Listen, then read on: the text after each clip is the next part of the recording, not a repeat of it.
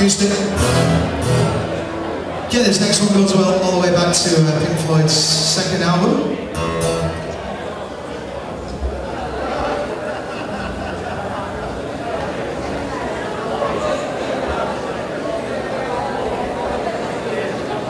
It's also apparently the only track off the album that uh, Syd Barrett actually plays a little bit on. Apart from Jugband Blues.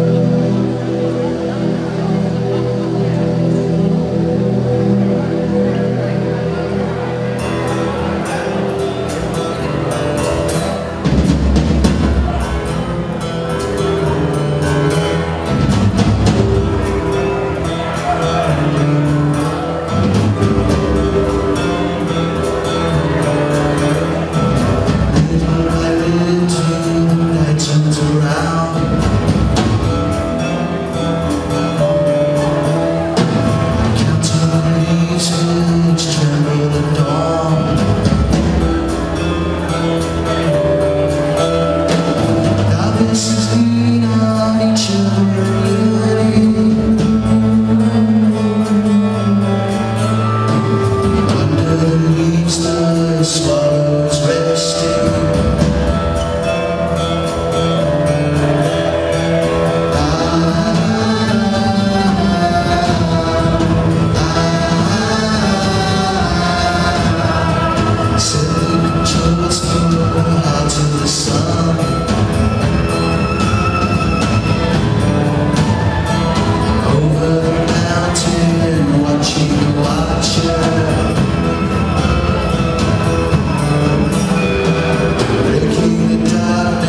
this week.